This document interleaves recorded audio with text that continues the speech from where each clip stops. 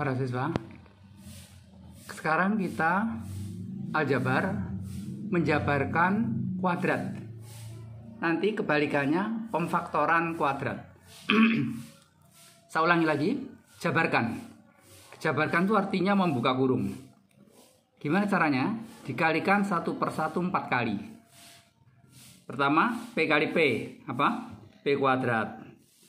P kali plus 5. Plus 5P. Min 2 kali P. Min 2P. Terakhir, min 2 kali plus 5, min 10. nah, kemudian selalu ada suku yang sama, anak-anak. Disatukan ini sama ini. Plus 5P dan min 2P. Karena sama-sama sejenis. Sehingga menjadi P kuadrat plus 5 min 2 P jadi saya hitung angkanya 5 dan min 2 yang warna merah ini min 10 sudah sehingga hasil akhirnya adalah P kuadrat plus 3P min 10 nah ini namanya penjabaran kuadrat karena bentuk kuadrat. Pangkat pangkat 2 gitu ya. Sekali lagi. Sekarang jabarkan masih seperti ini. K plus 7 kali K min 4. Gimana caranya? K kuadrat, ya K kali K kan kuadrat. Terus plus 7 min 4. Dijumlahkan ini plus 7 min 4. Kali K. Terus plus 7 kali min 4, min 28. ya, cara cepatnya begitu. Tidak usah dikalikan min 4K plus 7K, langsung aja gini.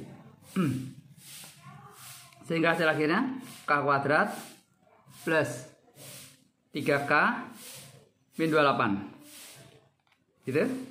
Jadi yang tengah itu merupakan penjumlahan jumlah dari 7 dan min 4. Jumlah ya.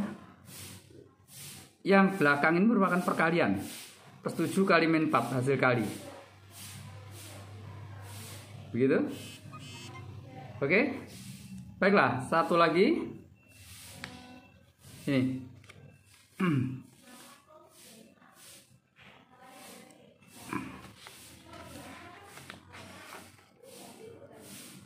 Y min 6 kali Y plus 3 Apa hasilnya? Y kuadrat min 6 plus 3 kali Y min 18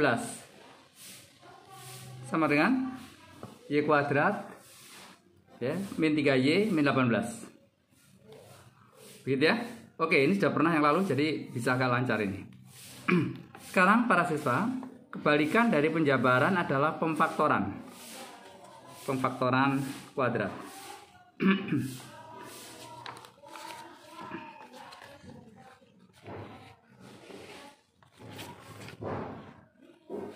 Saya susun dulu. Nih. Pemfaktoran itu tujuannya kebalikannya ini. Jadi kalau tadi penjabaran itu membuka kurung, sekarang dibalik. Sudah tidak ada kurungnya, akan diberi kurung. Itu namanya pemfaktoran. Ya, begitu. Jadi ubahlah menjadi faktor P kuadrat plus 3P min 10 menjadi P titik-titik angka berapa P titik-titik angka berapa Nah caranya perhatikan Tadi kita ingat angka ini ya, kalau dijumlahkan itu dapat yang tengah, kalau dikalikan dapat yang kanan. Maka berapa angka yang dua ini? Dua angka ini yaitu dua angka yang jika dikalikan menghasilkan min 10. Jika dijumlahkan menghasilkan plus 3. Nah, berapa itu coba? 10 tidak ada lain pasti 5 kali 2 ya. Nah, tapi plus minnya perhatikan. Di sini kan plus. Berarti plusnya yang lebih besar. Jadi angkanya itu ialah plus 5 dan min 2. Dibalik boleh, min 2 dan plus 5. Kenapa? Ini kali-kalikan, coba dikalikan berapa? Min 10 cocok. Kalau dijumlahkan berapa? Plus 3, benar. Maka pemfaktorannya adalah P min 2 kali P plus 5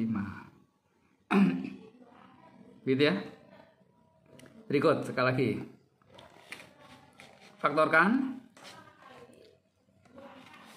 kuadrat plus 3K min 28 Gimana tadi caranya?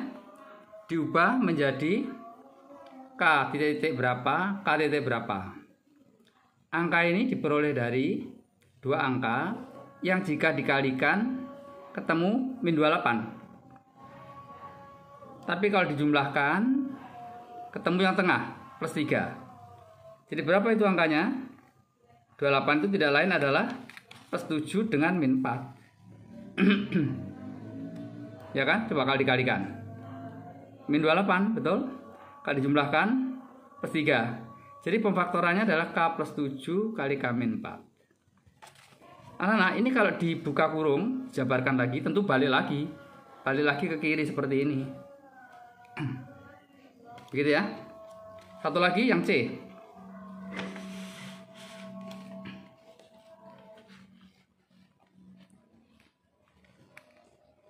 Y kuadrat min 3Y min 18 Difaktorkan Berapa ini?